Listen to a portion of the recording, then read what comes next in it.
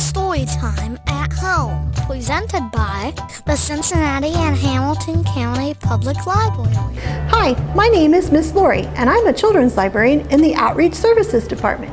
And today we're going to read If You Find a Leaf by Aimée Sicuro. If you find a leaf,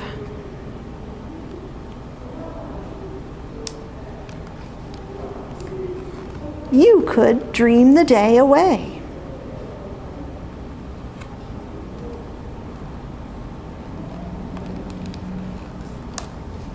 Could be a hat on a chilly day.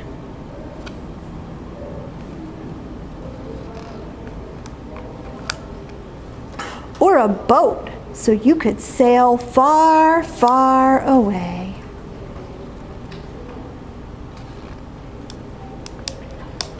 You could float high above the trees, parachuting down to see all the other leaves.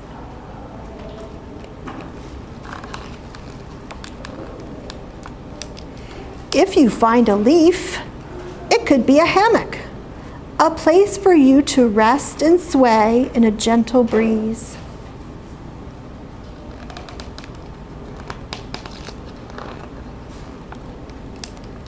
It could be your Halloween disguise, a funny mask with cutout spooky eyes.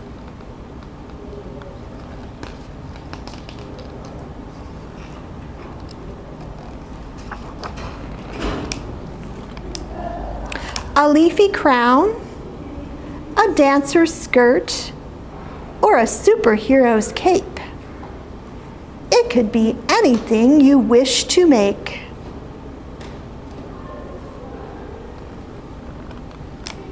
If you find a leaf, it could be your muse, hanging high for you to paint its changing hues.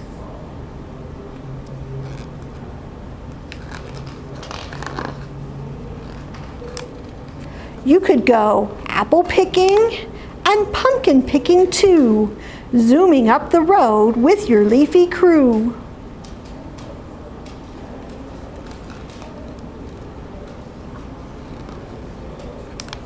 It could be a horn that blows, announcing that we're here.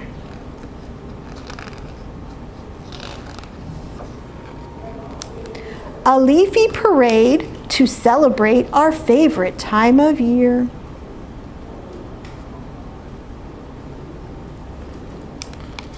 If you find a leaf, it could be glowing fire to gather round and sing with friends, or a comfy blanket for you to snuggle in.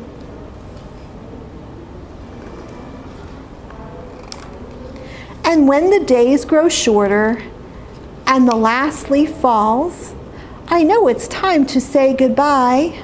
Winter calls. Until the spring, when all is green and leafy shoots open toward the sun.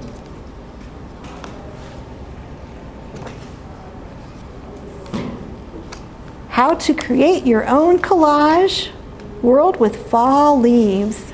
Oh, it has lots of fun things you can do with the leaf, how to preserve it, and how to use it when you decorate. So I hope you find some fall leaves to do some of these things in the book. The end. Wasn't that a great book about fall leaves? Thanks for joining me. Bye. Get free books in the mail. Sign up today. Go to Ohio Imagination Library.org to find out more.